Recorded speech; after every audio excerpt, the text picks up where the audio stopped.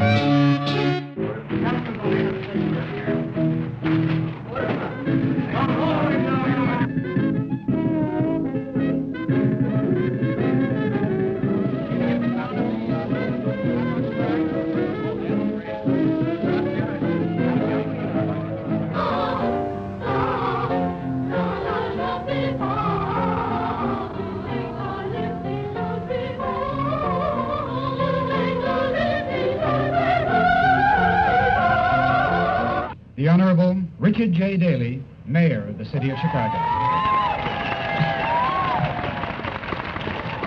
Thank you very much, Dr. Irving Will,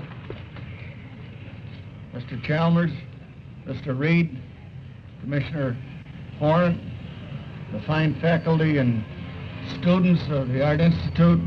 Janie was talking about what a great campus you have here, and I admit it, they have skating, ice skating and all that, and the fountain, but don't forget the salmon fishing that you have right off the lake, and, and, and, and there's an enjoyment between the yards. You can go out and catch some fine fish. Proud day in Chicago, a city I know we love, all of us, and a city we should love more. Enjoy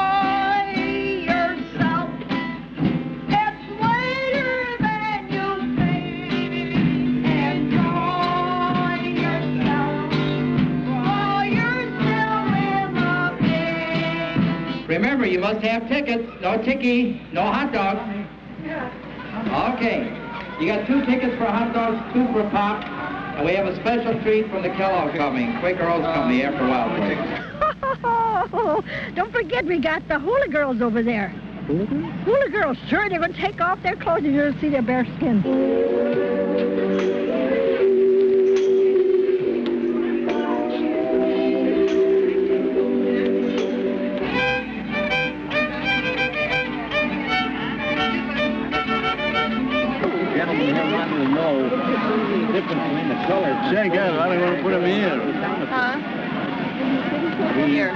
That's a, oh boy. I put my money in.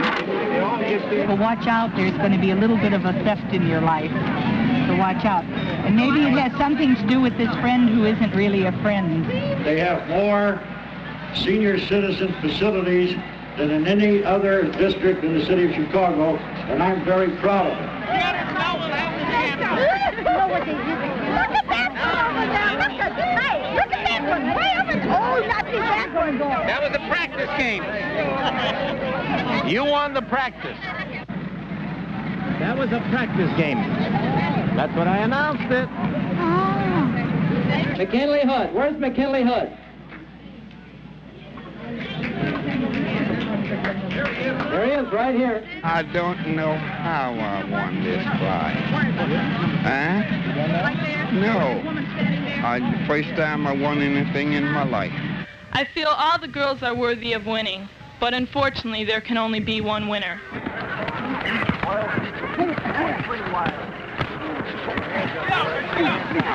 If the guy asks you out, I think he should pay the expenses. Keep off balance. All he's doing is running at you.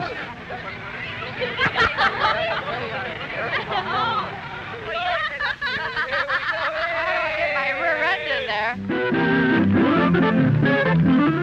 And Martini, number 14. On the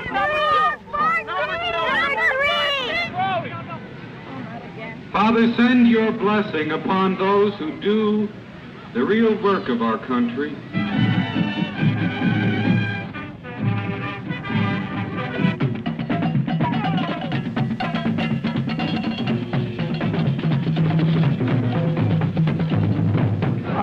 Ladies and gentlemen, the judges have made their decisions, and uh, they've given me the, the winners.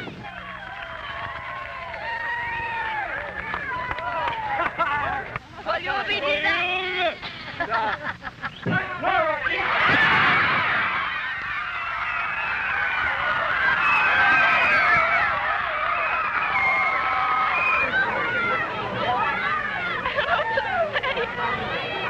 She was just the best choice. I mean, she come up with the best answers, and she's she can handle the job that's appointed to her all the way.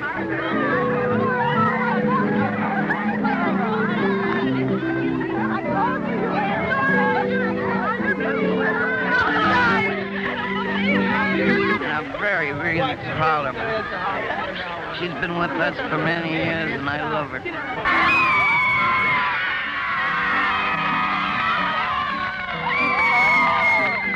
It's an unusual story. It's a one of a kind. Uh, there's no question of it. Uh, the actions toward the customer, if a customer walks in the door, you must give his order immediately. If not, sometimes I push him back out to read the menu on the outside.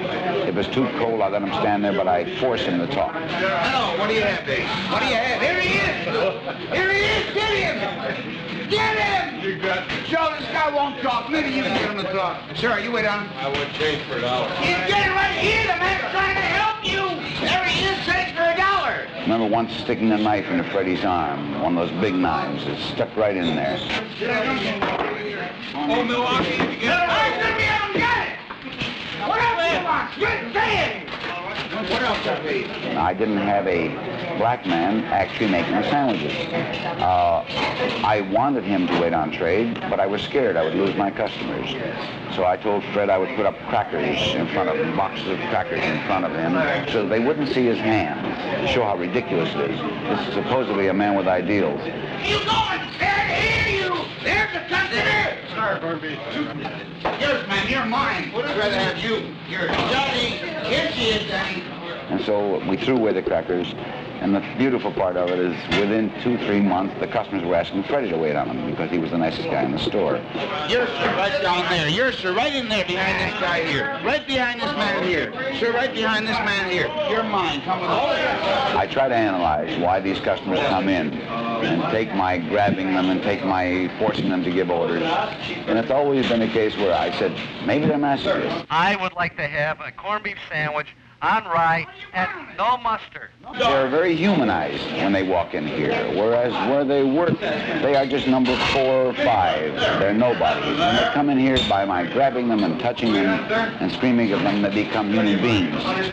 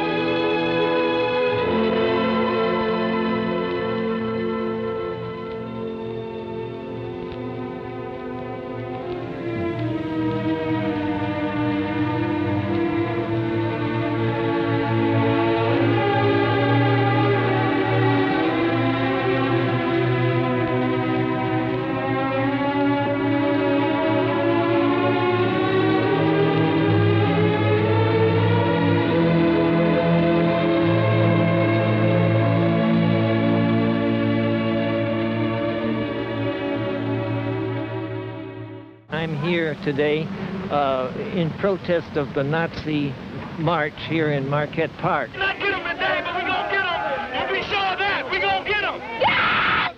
Stop oh, that's the important thing. Stand up straight, Peter. No, don't salute the flag. Just stand up straight. Look natural. Okay, get up there. There you go. Don't have much time. Yeah, I need the bullhorn. I gotta tell the people to go down to the park. Where's the bullhorn at? Bullhorn. Know where the bullhorn is?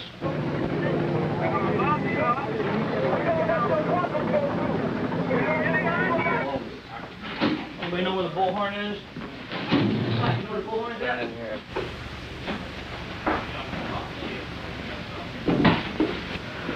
I gotta go bum a comb. The rally is in the park, so we're not going to march from here.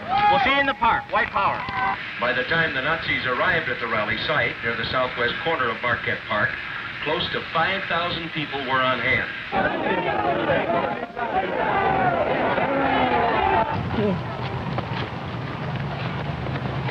We need an extension cord. They didn't bring it? No, they didn't bring it. Oh, shit. Do you know where it is? Why, is he talking now? Of course he's talking. Can you please get out of here, We stand for the liberty and freedom for all, races, creeds, and colors.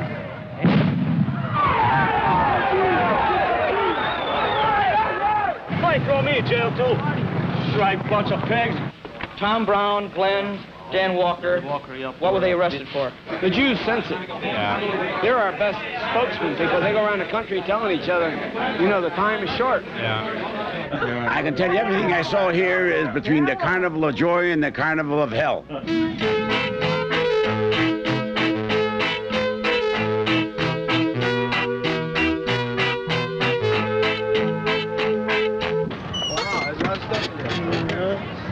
You take a picture of him now? Very nice. Uh, that's a big eagle, ain't it?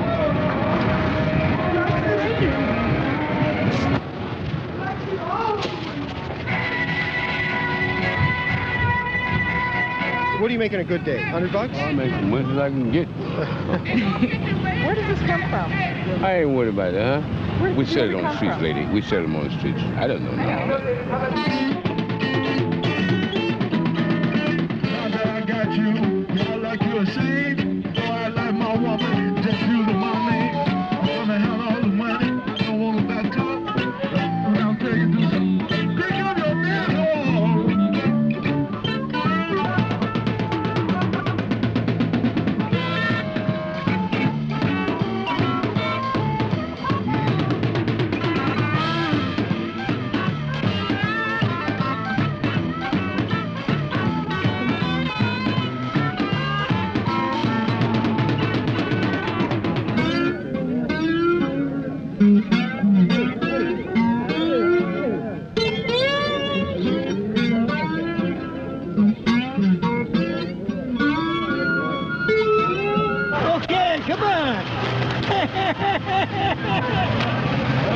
yeah!